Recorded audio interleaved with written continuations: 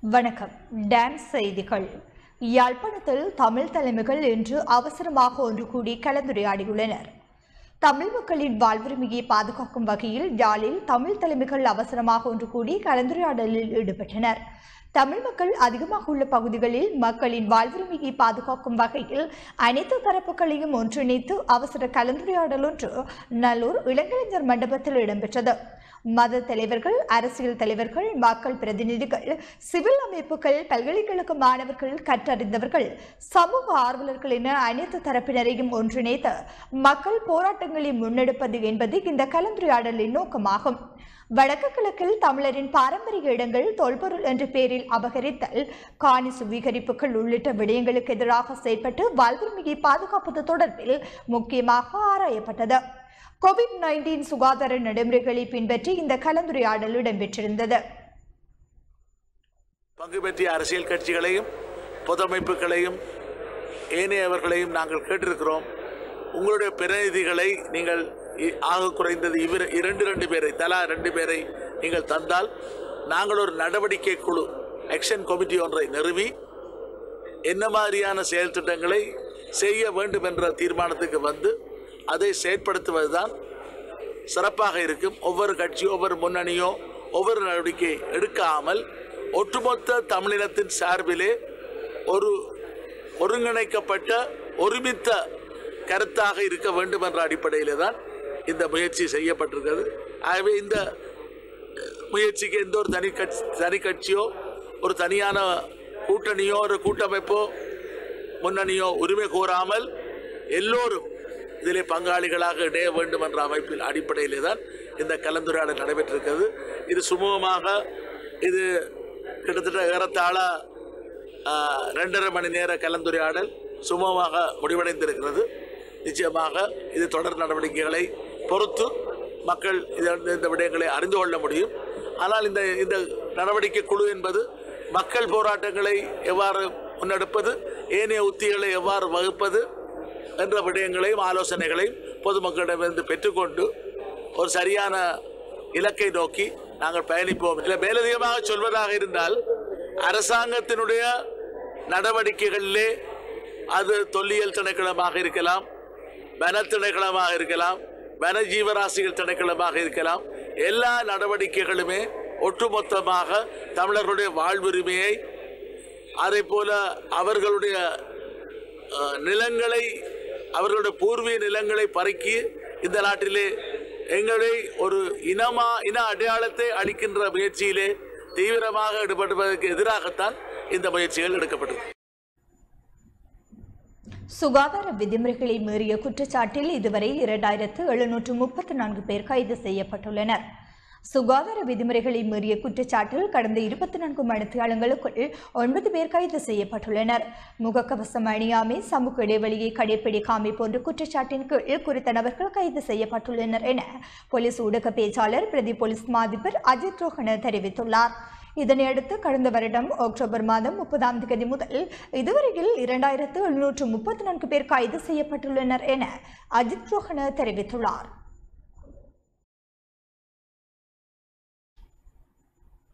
வெளிநாடுகளில் சிக்கியிருந்த மேலும் முன்னூற்றி இருபத்தி ஆறு இளைஞர்கள் நாடு திரும்பினர். கோவிட் நைன்டீன் காரணமாக நாடு திரும்ப முடியாமல் வெளிநாடுகளில் சிக்கியிருந்த மேலும் முன்னூற்றி இருபத்தாறு பேர் நாட்டுக்கு அழைத்து வரப்பட்டுள்ளனர். ஆறு விமான சேவைகள் மூலம் அவர்கள் நாட்டை வந்தடைந்தனர். இதற்கமைய துபாயில் இருந்து நூற்று ஐம்பத்தி ரெண்டு இளைஞர்களும் மாலைதீவில் இருந்து எழுபது இளைஞர்களும் நாட்டுக்கு அழைத்து வரப்பட்டுள்ளனர். அத்துடன் கற்றல் மற்றும் தொழில் நிமித்தம் இலங்கையிலிருந்து நானூற்றி இருபத்தி ஐந்து பேர் வெளிநாடுகளுக்கு சென்றுள்ளமையும் குறிப்பிடத்தக்கது. மட்டக்களப்பு மாவட்டம் காத்தான்குடியில் விடுவிக்கப்பட்ட பகுதிகளில் வர்த்தக நிலையங்கள் மீள திறக்கப்பட்டுள்ளன. மட்டக்களப்பு மாவட்ட காத்தாங்குடியில் விடுவிக்கப்பட்ட பகுதிகளில் இருபத்தைந்து நாட்களுக்கு பின்னர் இன்று வர்த்தக நிலையங்கள் திறக்கப்பட்டன. கடந்த மாதம் முப்பதாம் திகதி காத்தாங்குடி தனிமைப்படுத்தப்பட்டதை அடுத்து சகல வர்த்தக நிலையங்களும் மூடப்பட்டன. இதன் பின்னர் கடந்த வியாழக்கிழமை காத்தாங்குடி பிரதேச செயலாளர் பிரிவில் எட்டு கிராம உத்தியோகஸ்தர் பிரிவுகள் தனிமைப்படுத்தலில் இருந்து விடுவிக்கப்பட்டது. சுகாதார வைத்திய அதிகாரி மற்றும் காத்தாங்குடி நகரசபை ஆகியோரினதும் காத்தாங்குடி கோவிட் தடுப்பு செயலனின் அறிவுறுத்தலுடன் சுகாதார நடைமுறைகளை பேணி விடுவிக்கப்பட்ட பகுதிகளில் சகல வர்த்தக நிலையங்களையும் திறப்பதற்கு அனுமதி வழங்கப்பட்டதை அடுத்து இன்று காலை விடுவிக்கப்பட்ட பகுதிகளில் வர்த்தக நிலையங்கள் திறக்கப்பட்டன. இதையடுத்து வர்த்தகர்கள் தமது வர்த்தக நிலையங்களை திறந்ததுடன் இவர்களுக்கான ஆன்டிஜன் பரிசோதனைகளும் மேற்கொள்ளப்பட்டமை குறிப்பிடத்தக்கது. எமது மக்களுடைய அரசியல் வரலாற்றில் தீர்க்க முடியாத பல பிரச்சனைகள் இன்னும் இருக்கின்றன என ராஜாங்க அமைச்சர் எஸ். தயாளேந்திரன் தெரிவித்துள்ளார். தற்போதுள்ள பலம் பொருந்திய அரசாங்கம் ஊடாக தமிழ் மக்களின் பிரச்சனையை எவ்வாறு தீர்க்க முடியும்? தமிழ் மக்களுக்கு எதனை பெற்றுக் கொடுக்க முடியும் என்பதையே நாங்கள் சிந்திக்க முடியும் என ராஜாங்க அமைச்சர் எஸ். வியாளேந்திரன் தெரிவித்தார். ஸ்ரீலங்கா பொதுஜன பெரமுனவின் மட்டக்களப்பு மாவட்ட அமைப்பாளர் பண சந்திரகுமார் தலைமையில் நடைபெற்ற பட்டிருப்பு தொகுதிக்கான தேசிய மாநாட்டிலேயே இவ்வாறு தெரிவித்தார். ஏழு தசாப்த கால தமிழர்களின் அரசியல் வரலாற்றிலே எமது மக்களுடைய அரசியல் வரலாற்றிலே இன்னும் தீர்க்க முடியாத பல பிரச்சனைகள் இருக்கத்தான் செய்கின்றன பல தேவைகள் மலை போல் குவிந்து கிடக்கத்தான் செய்கின்றோம். இவற்றை நாம் எப்படி சரி செய்து கொள்ள முடியும்?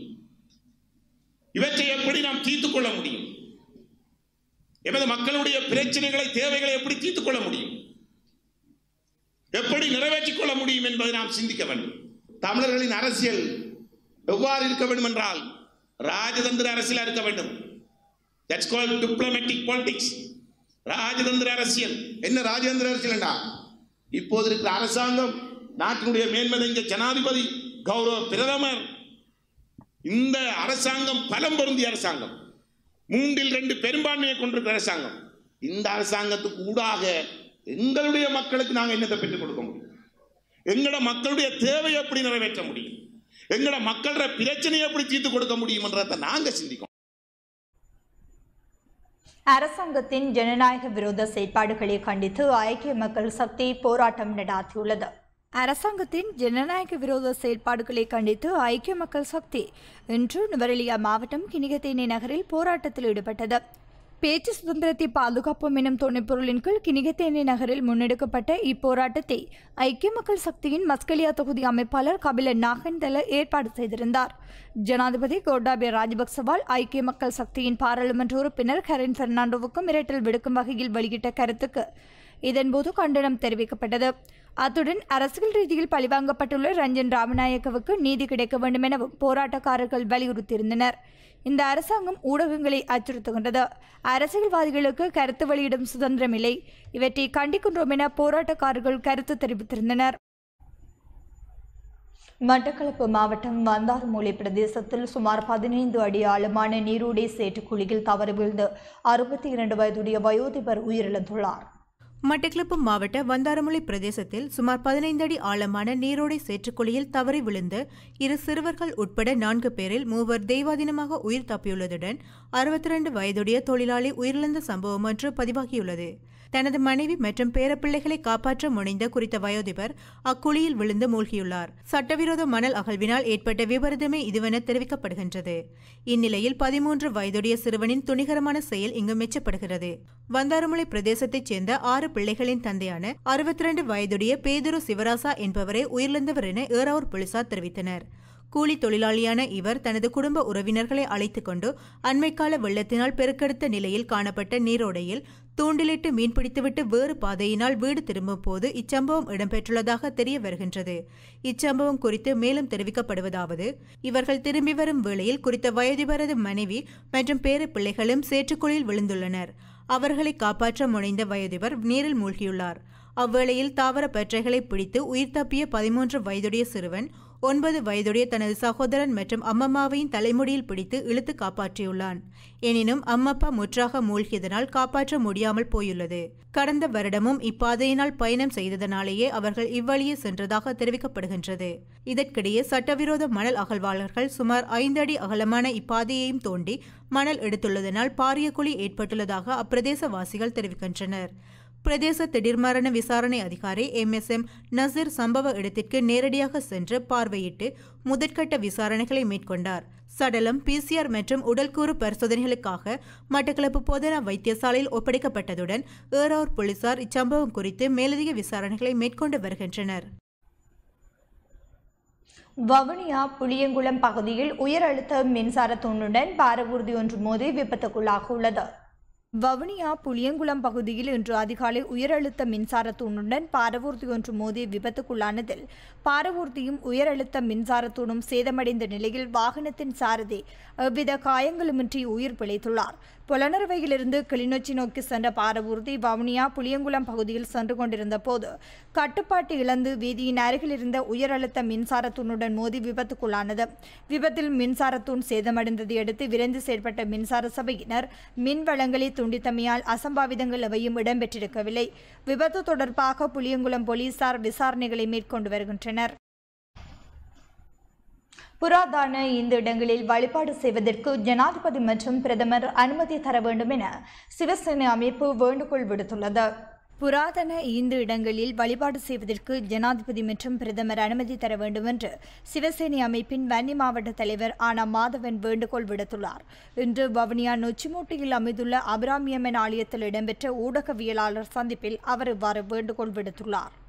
தொல்லியல் திணைக்களம் இன்று புராதான ஆலயங்களிலே சென்று அங்கு இருக்கக்கூடிய இடங்களிலே பூசை வழிபாடுகளை செய்வதற்கு தற்பொழுது தடை விதித்து வருகின்றது. நீங்கள் புரிந்து கொள்ள வேண்டும் நாங்கள் அந்த காலம் கொட்டு அதாவது பாரம்பரியமாக ஆலயங்களை வழிபடுவது மட்டுமல்லாது இங்கே இருக்கக்கூடிய புராதான இடங்களை நாங்கள் வழிபடு வ- வழிபட்டு வருகின்றோம். அத்தோடு எங்களுடைய மக்களுடைய நோக்கமானது நாட்டிலே சுமூகமான உறவு நிலையை மேன்மைப்படுத்தி நாங்கள் இங்கே வாழ்ந்து கொண்டிருக்கின்றோம். உங்களிடம் நாங்கள் முன்வைக்கும் கோரிக்கையானது இந்த புராதான ஆலயங்கள் அதாவது கூடுதல் குறிப்பாக நாங்கள் குறிப்பிட வருவது வடமாகாணத்திலே இருக்கக்கூடிய ஆலிலிங்கேஸ்வரர் வெடுக்குநாரி மலையினுடைய அந்த பூசகர் கைது மிக கண்டிக்கத்தக்கதாக இருக்கின்றது. ஸ்ரீமேதகுரு ஜனாதிபதி அவர்களும் பிரதமர் அவர்களும் நேரடியாக கவனித்து எங்களுடைய வழிபாடுகள் முறைகளை நீங்கள் அறிவீர்கள். நான் எங்களுடைய வழிபாட்டுக்கான அனுமதியை அதாவது அனைத்து ஆலயங்களிலும் சென்று வழிபடுவதற்கு அனைவருக்கும் சமத்துவமும் சம உரிமையும் வழங்கு வழங்குவீர்கள் என நாங்கள் எதிர்பார்க்கின்றோம். அத்தோடு எங்களுடைய இந்த நாட்டிலே சமமான ஒரு இந்து சமயத்தினுடைய அந்த நோக்கமானது மற்றவர்கள் மனதை புண்படுத்துவதல்ல நாங்கள் உங்களோடு சேர்ந்து இந்த ப- பயணத்திலே நாங்கள் அனைவரும் இருக்கின்றோம். ஆகவே எங்களுடைய இந்துக்களுடைய இந்த மனதை புண்படுத்தாது. நீங்கள் எங்களுக்கு இந்த ஆலயங்களிலே சென்று வழிபடுவதற்கு எங்களுக்கு அனுமதி கோரி.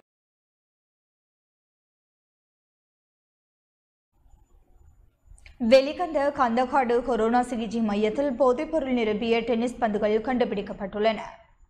வெளிகந்த கந்தக்காடு கொரோனா சிகிச்சை மையத்தில் போதைப்பொருள் நிரம்பிய டென்னிஸ் பந்துகள் இரண்டு கண்டுபிடிக்கப்பட்டுள்ளதாக போலீஸ் ஊடக பேச்சாளர் பிரதி போலீஸ் மாதிபர் அஜித் ரோஹன தெரிவித்துள்ளார்.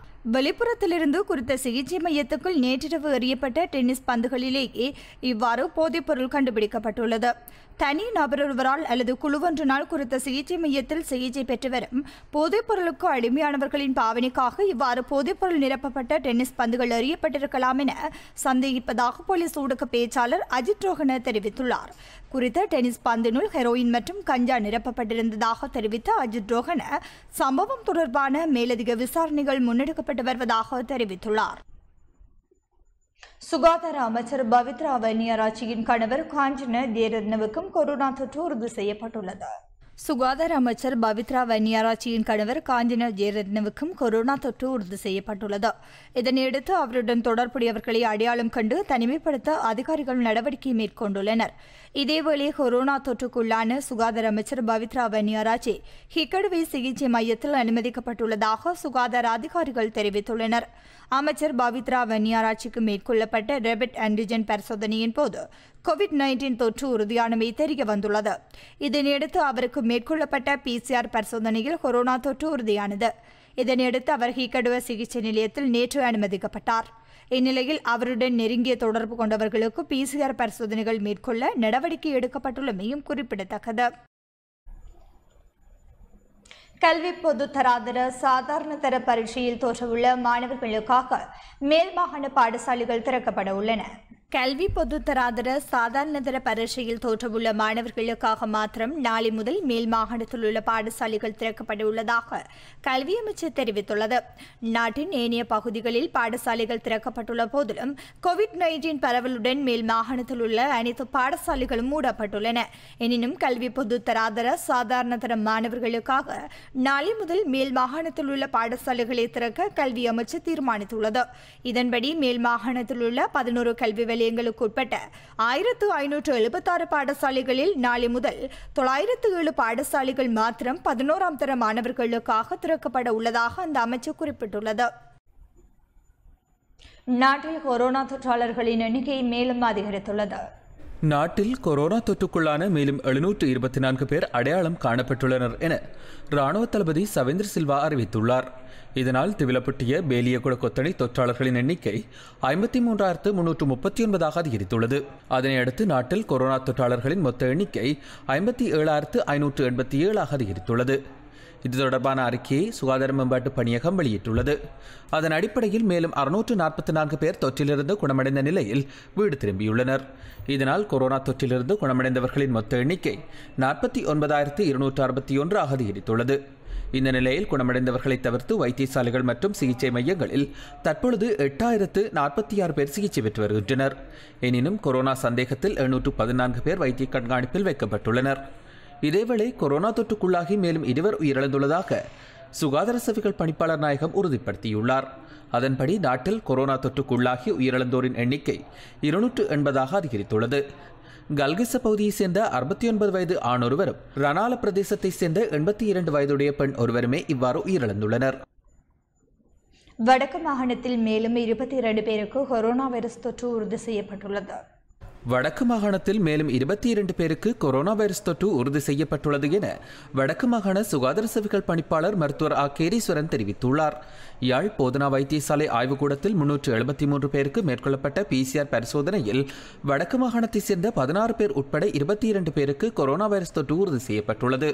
அதற்கமைய வவுனியா மாவட்டத்தைச் சேர்ந்த பன்னிரண்டு பேர் மன்னார் மாவட்டத்தைச் சேர்ந்த மூன்று பேர் முல்லைத்தீவு மாவட்டத்தைச் சேர்ந்த ஒருவர் என வடக்கு மாகாணத்தைச் சேர்ந்த பதினாறு பேருக்கும் யாழ் கோப்பாய் கொரோனா சிகிச்சை நிலையத்தில் சேர்க்கப்பட்டிருந்த வெளி மாகாணங்களைச் சேர்ந்த ஆறு பேருக்கும் கொரோனா தொற்று உறுதிப்படுத்தப்பட்டுள்ளது என வடக்கு மாகாண சுகாதார சேவைகள் பணிப்பாளர் மருத்துவர் ஆகேதீஸ்வரன் தெரிவித்துள்ளார்.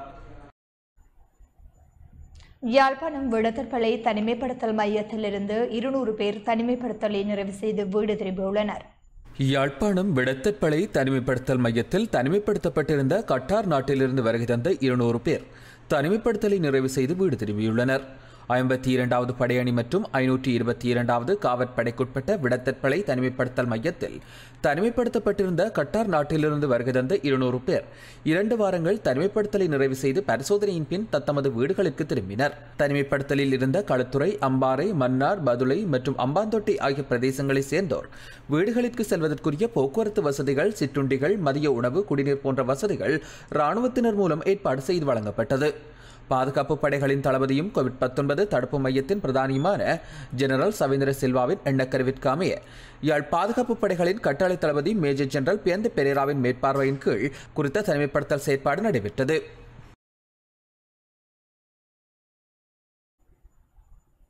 துறைமுக தொழிற்சங்கத்தினர் முன்வைத்துள்ள கோரிக்கைகள் பரிசீலனை செய்யப்படும் என அமைச்சர் ரோகிதாபி குணவர்தன தெரிவித்துள்ளார். கொழும்பு துறைமுகத்தின் கிழக்கு முனையம் குறித்து துறைமுக தொழிற்சங்கத்தினர் முன்வைத்துள்ள கோரிக்கைகள் பரிசீலனை செய்யப்படும் என கப்பத்துறை அபிவிருத்தி அமைச்சர் ரோகித அபய் குணவர்த்தன தெரிவித்துள்ளார். துறைமுக ஊழியர் தொழிற்சங்கத்தினர் முன்னெடுத்த போராட்டம் குறித்து வினவிய போது அவர் இவ்வாறு குறிப்பிட்டார். அரசாங்கத்தின் தீர்மானத்திற்கு எதிராக முன்னெடுக்கப்படும் போராட்டங்களின் பின்னணியில் அரசியல் நோக்கங்கள் மறைந்துள்ளன. அம்பாத்தோட்டை துறைமுகத்தை சீனாவிற்கு வழங்கும் போது துறைமுக ஊழியர் சங்கத்தினர் எதிர்க்கவில்லை என அமைச்சர் ரோஹித் அபய குணவர்த்தன மேலும் தெரிவித்தார். பத்து அத்தியாவசிய பொருட்களுக்கு ஒரு நிலையான விலையை விதிக்க உடன்பாடு எட்டப்பட்டுள்ளது. நேரடி இறக்குமதியாளர்கள் மற்றும் உள்ளூர் உற்பத்தியாளர்கள் பத்து அத்தியாவசிய பொருட்களுக்கு ஒரு நிலையான விலையை விதிக்க உடன்பட்டுள்ளதாக கூறப்படுகின்றது. அடுத்த மாதம் முதல் இது நடைமுறைக்கு வரும் என கூறப்படுகின்றது. அமைச்சர் பந்துல குணவர்த்தன தலைமையில் ஏற்றுமதியாளர்களுக்கும் உள்ளூர் உற்பத்தியாளர்களுக்கும் இடையில் இடம்பெற்ற கலந்துரையாடலின் போதே இவ்விடயம் தெரிவிக்கப்பட்டுள்ளது. இதன்போது நேரடி இறக்குமதியாளர்களிடமிருந்து பெறப்பட்ட உயர்தர பொருட்களை வழங்குவதற்கான ஒப்பந்தமும் எட்டப்பட்டுள்ளது. உயர்தர பொருட்களை நியாயமான விலையில் வழங்குவதே அரசாங்கத்தின் நோக்கமாகும் என அமைச்சர் பந்துல குணவர்த்தனை இதன்போது தெரிவித்திருந்தமை குறிப்பிடத்தக்கது. நாட்டின் தேசிய வளங்கள் ராஜபக்சர்களின் குடும்ப சொத்தல்ல என நாடாளுமன்ற உறுப்பினர் குமார வெல்கம தெரிவித்துள்ளார். நாட்டிலுள்ள தேசிய வளங்கள் ராஜபக்ஷக்களின் குடும்ப சொத்தல்ல. தான் தோன்றித்தனமாக பிற நாட்டவர்களுக்கு கொழும்பு துறைமுகத்தின் கிழக்கு முனையத்தை இந்தியாவிற்கு வழங்க அரசாங்கம் முன்னெடுக்கும் செயற்பாட்டிற்கு நாட்டு மக்கள் அனைவரும் அரசியல் கட்சி பேதங்களை துறந்து எதிர்ப்பு தெரிவிக்க வேண்டும் என நாடாளுமன்ற உறுப்பினர் குமார வெல்கம தெரிவித்துள்ளார்.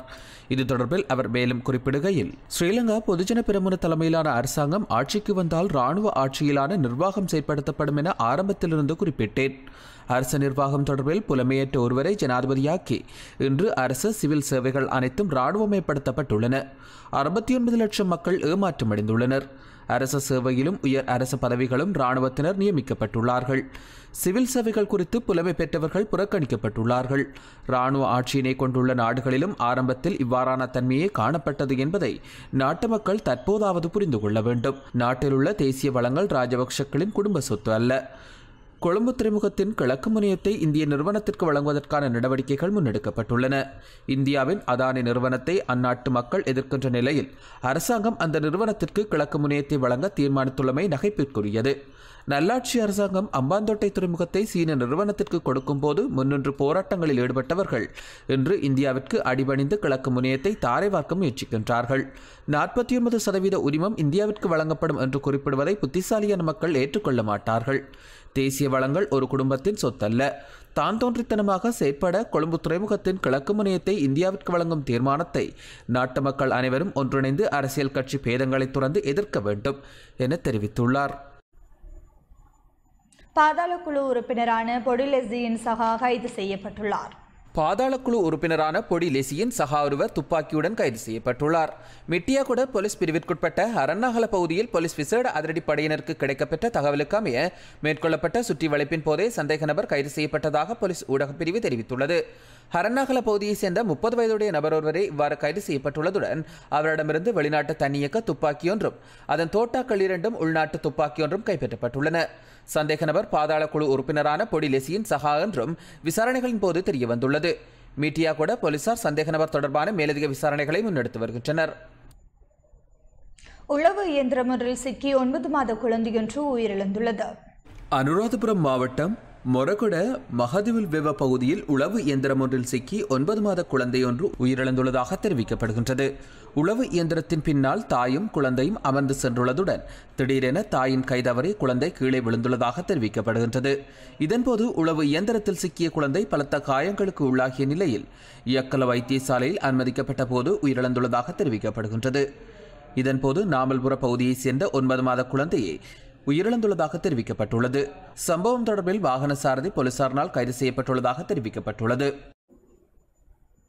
திருகோணமலையில் கட்டுத்துவக்கு வெடித்ததில் ஒருவர் படுகாயமடைந்துள்ளார்.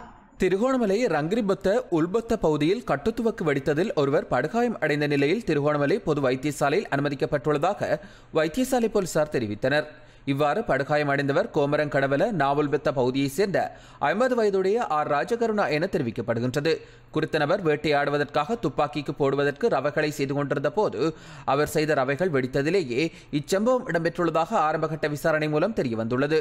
படுகாயமடைந்தவர் கோமரங்கடவல பிரதேச வைத்தியசாலையில் அனுமதிக்கப்பட்டதை அடுத்து மேலதிக சிகிச்சைக்காக திருகோணமலை பொது வைத்தியசாலைக்கு கொண்டு செல்லப்பட்டதாகவும் அவர் தற்பொழுது அதிதீவிர சிகிச்சை பிரிவில் சிகிச்சை பெற்று வருவதாகவும் போலீசார் தெரிவித்தனர். மேலதிக விசாரணைகளை கோமரங்கடவல போலீசார் மேற்கொண்டு வருவதாக வைத்தியசாலை போலீசார் தெரிவித்துள்ளனர்.